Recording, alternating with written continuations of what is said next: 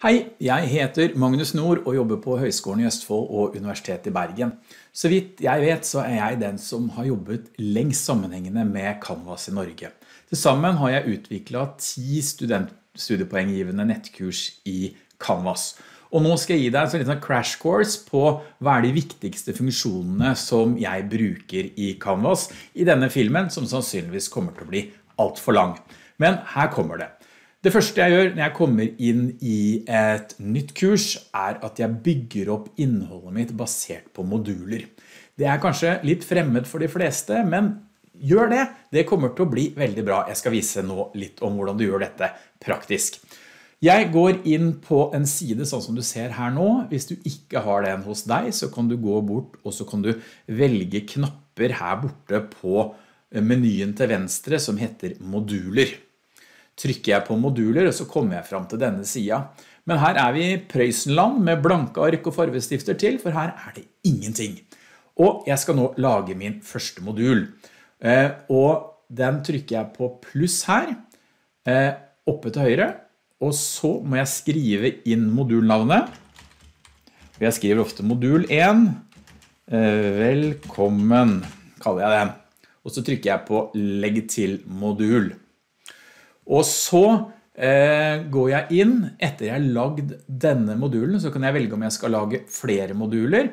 Eh, og da kan jeg vise det med en gang. Da går jeg inn og trykker på pluss på modul en gang til, og så kaller jeg den for eh, modul 2 eh, oppstart. Så trykker jeg på opprett modul.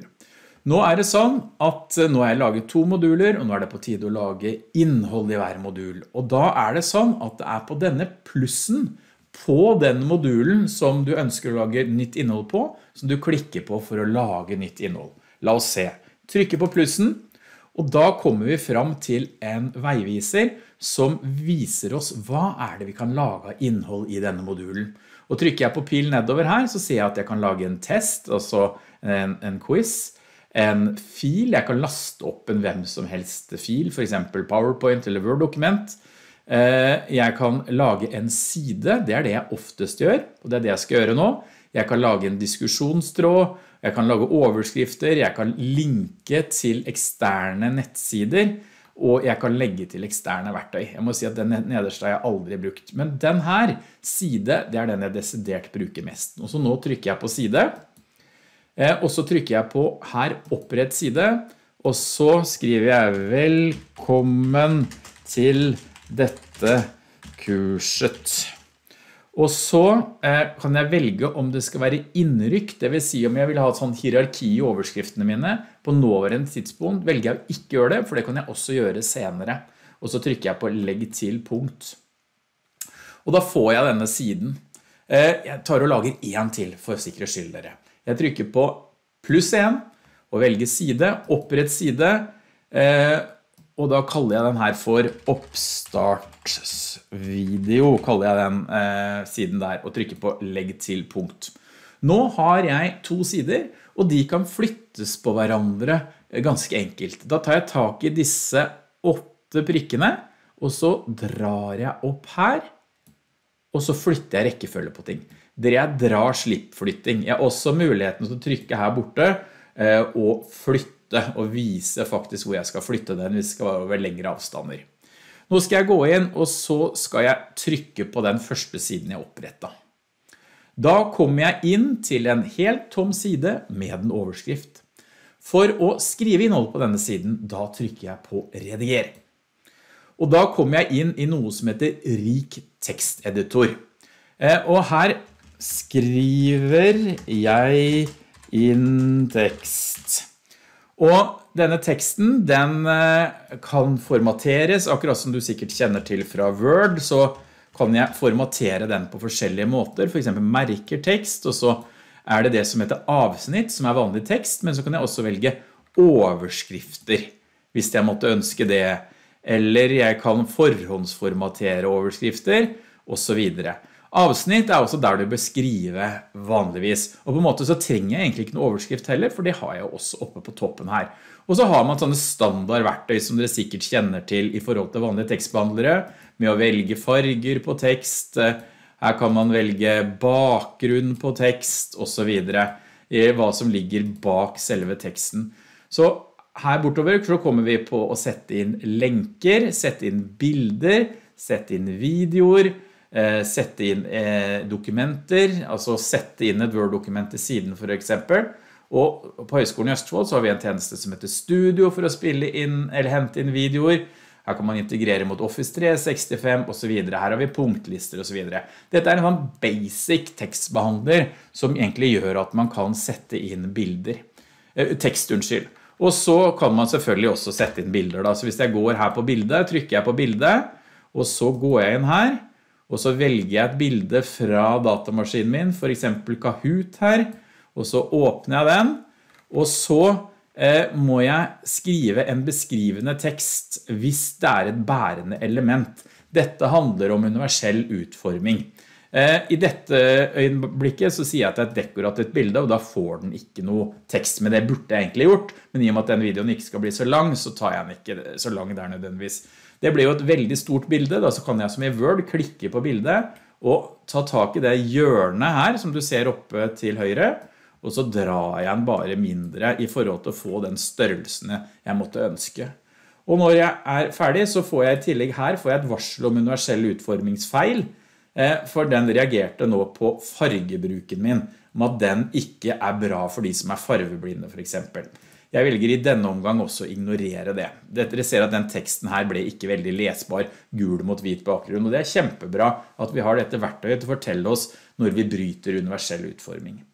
Nå er jeg klar for å lagre. Lagre og publisere, da vil si at da gjør jeg siden tilgjengelig for studentene mine, men det skal jeg gjøre helt på slutten av videoen.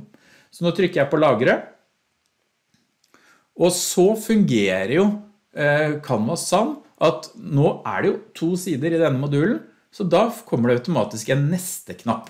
Trykker jeg på neste nå, så kommer jeg til neste side som er oppstartsvideo.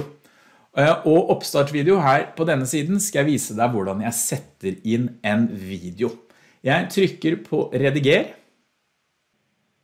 Jeg har nå gått ut på YouTube. Her er det sånn at jeg kan ta med meg den YouTube-videoen tilbake inn i Canvas. Videoen blir fremdeles liggende ute på YouTube. Så nå er jeg inne på en oppstartsvideo jeg har laget til et av kursene jeg underviser. Så trykker jeg på del. Og i stedet for å bare kopiere internettadressen, så trykker jeg her på bygg inn. Trykker på den, og så trykker jeg på kopier. Og så lukker jeg dette vinduet igjen, og så går jeg tilbake til Canvas. Og her er jeg i rik teksteditor. Eh, skriv tekst, som vi viste i stad, ikke sant? Og så går jeg inn, og så kan jeg gå ned i høyre hjørne. Ser dere dette ikonet her? Dette er ikonet for eh, HTML, eller HTML-tagger. Da går vi inn i programmeringsspråket og HTML, som er det som lager websider. Trykker jeg på den, så er vi inne i programmeringskoden. Og der ser dere det står skriv tekst. Hvis jeg nå går inn her og klikker inn og tar Ctrl V, for det jeg i virkeligheten har gjort dere, det er at jeg har klippet ut en såkalt iframe-tag fra YouTube som refererer til hvor videoen ligger i YouTube. Og den har en oppløsning på 560 punkter bortover og 315 punkter nedover. Og det er det jeg pleier å bruke i mine kurs. Så kan jeg nå trykke tilbake igjen på dette ikonet for å gå tilbake til vanlig rik teksteditor. Og da vil du se at nå har jeg også denne videoen inne. Så hvis jeg går ned og lagrer nå, så vil du se en side hos meg som nå også har en embedda video. Og dette er måten jeg legger inn videoer i alle mine kurs. Disse videoene kan komme fra alle mulige typer videotjenester, forutsatt at den har en embed-funksjon. Det synes jeg er veldig mye lurere enn å laste opp videoene inn i kurset, for de blir fort veldig store, og så har du ofte en begrenset lagringskapasitet i kursa, kursa, kursa dine i Canvas. Jeg trykker meg nå tilbake til moduler, trykker på denne, og så kommer jeg tilbake til modulen igjen, og i modul 1 her skal jeg legge til en oppgave. Da trykker jeg på plussen igjen. Denne gangen er det en oppgave. Jeg trykker på opprett oppgave, eh, og dette her er en oppgave i forhold til universell utforming. Og så trykker jeg på legg til punkt. Da har jeg laget selve oppgaven, men man vet jo enda ikke hva dette er for noe. Så nå må jeg trykke meg inn på selve oppgaven.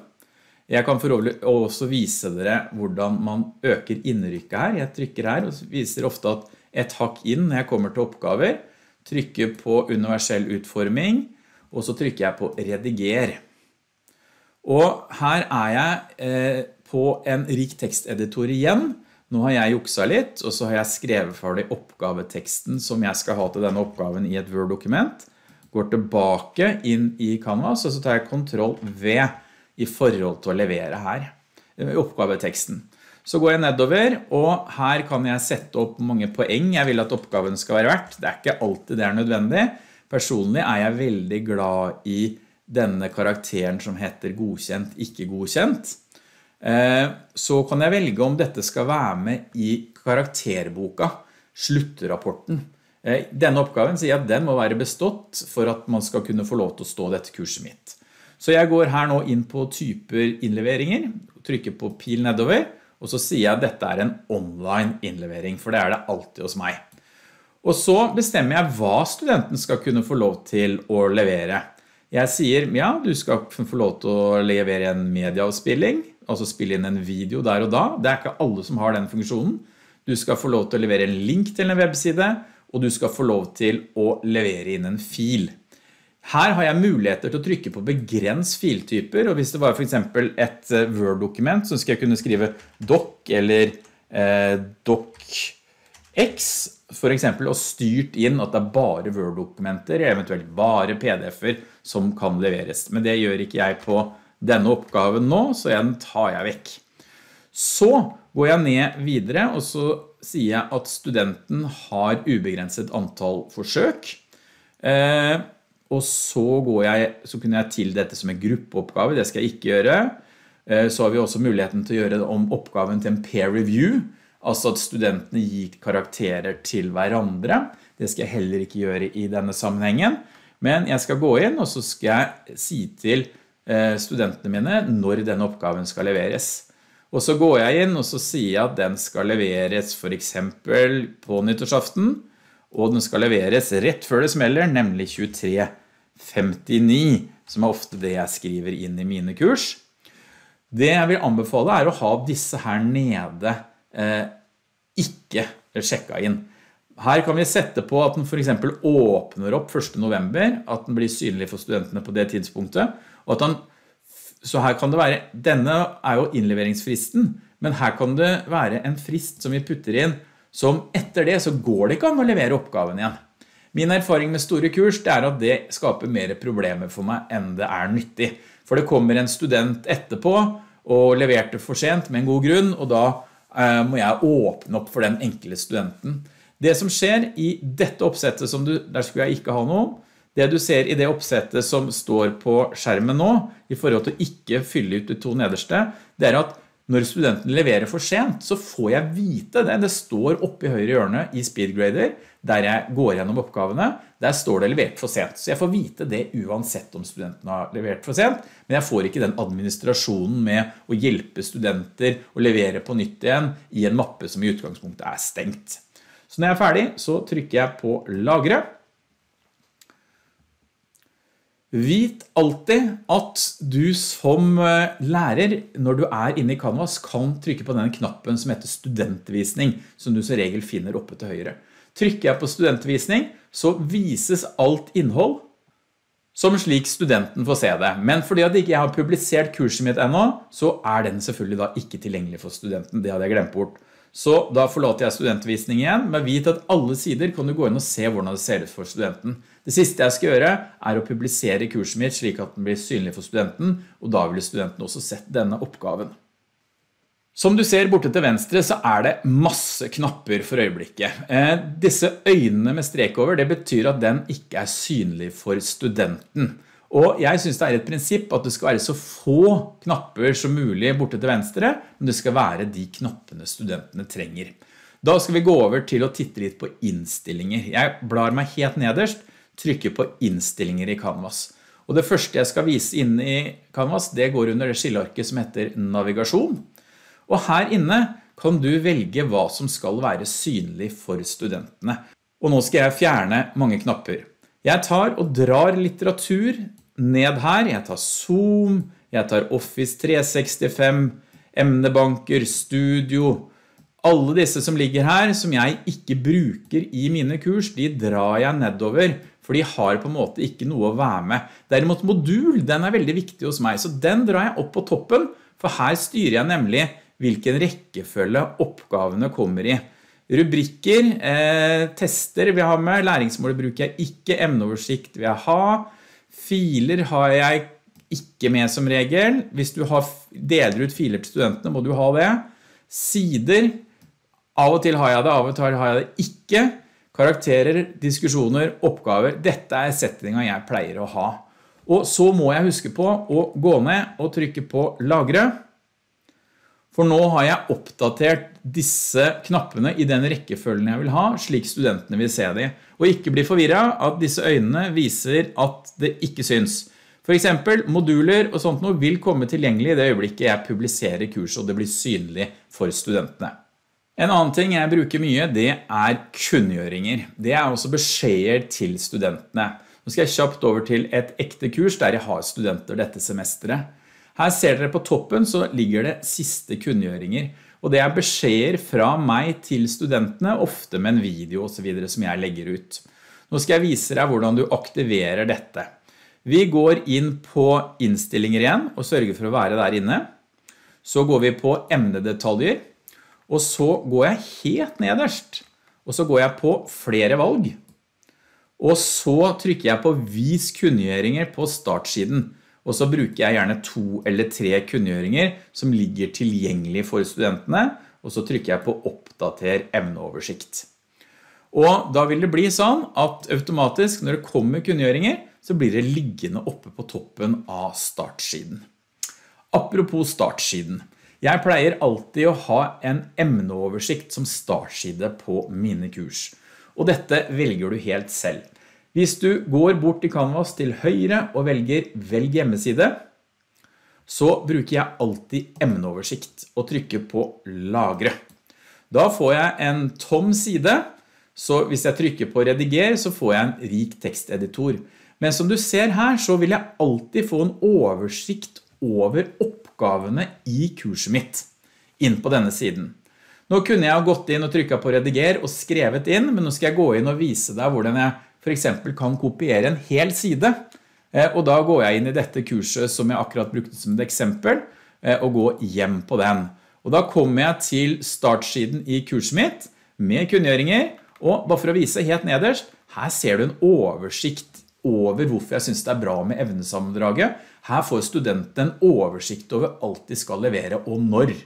Dette kan de selvfølgelig finne i kalenderen også, men jeg mener at dette gir måte best oversikt.